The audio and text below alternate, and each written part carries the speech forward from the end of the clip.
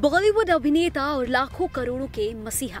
सोनू सूद के घर का आयकर विभाग ने बुधवार को सर्वे किया। जानकारी के मुताबिक आयकर विभाग की टीम सुबह सोनू सूद के आवास पर पहुँची थी। आईटी विभाग ने सोनू सूद से जुड़े कई जगहों का सर्वे किया।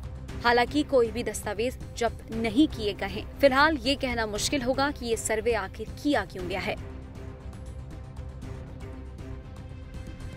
कुछ दिन पहले ही सोनू सूद को दिल्ली सरकार ने स्कूली बच्चों के लिए शुरू किए मेंटरशिप कार्यक्रम का ब्रांड एम्बेसडर बनाया था।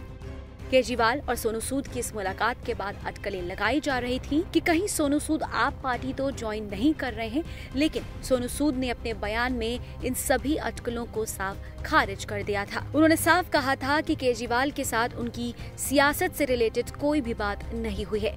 हालाँकि इस दौरान एक्टर ने दिल्ली सरकार के कामों की जमकर तारीफ़ की थी। उन्होंने आयकर विभाग के सर्वे को लेकर अभी तक कोई प्रतिक्रिया नहीं दी है।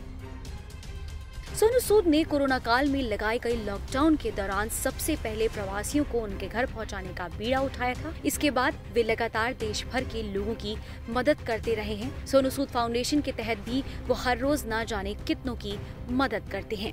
उन्होंने देश के कई हिस्सों में कई सारे ऑक्सीजन प्लांट भी बनाए हैं। सोनू सूद सोशल मीडिया पर भी काफ़ी एक्टिव रहते हैं। ट्विटर के ज़रिए लोग सोनू सूद से मदद की गुहार लगाते हैं और सूद ज़्यादा से ज़्यादा लोगों को बकायदा रिप्लाई कर उनकी मदद सुनिश्चित करते हैं। सोनू सूद एक बार हाँ कर देते हैं तो सहायता लोगों तक पहुँच ही जाती है। I report.